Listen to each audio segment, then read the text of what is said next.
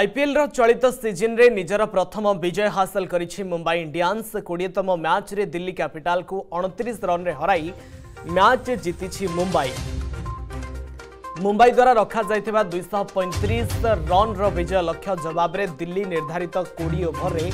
ଆଠ ୱିକେଟ୍ ହରାଇ ଦୁଇଶହ ପାଞ୍ଚ ରନ୍ କରିପାରିଥିଲା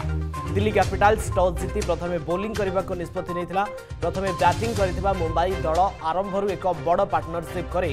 ଭଲ ମୂଳଦୁଆ ସ୍ଥାପନ କରିଥିଲା ଦଳର ଦୁଇ ଓପନର ରୋହିତ ଶର୍ମା ଓ ଇଶାନ କିଶନ ଯଥାକ୍ରମେ ଅଣଚାଶ ରନ୍ ଓ ବୟାଳିଶ ରନ୍ କରିଥିଲେ ସେପରି ପ୍ରଥମ ଥର ଲକ୍ଷ୍ନୌ ଗୁଜରାଟ ବିପକ୍ଷରେ ବିଜୟ ହାସଲ କରିଛି ପ୍ରଥମେ ବ୍ୟାଟିଂ କରିଥିବା ଲକ୍ଷ୍ନୌ ପାଞ୍ଚ ୱିକେଟ୍ ହରାଇ ଶହେ ତେଷଠି ରନ୍ କରିଥିଲା ଜବାବରେ ଗୁଜରାଟ ବ୍ୟାଟରଙ୍କ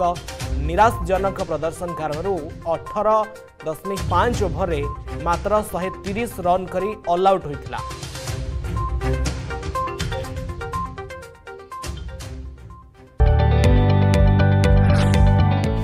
जदि आपण को आम भिडी भल लगा तेब आम चेल्क लाइक सेयार और सब्सक्राइब करने को जमा भी बुलां नहीं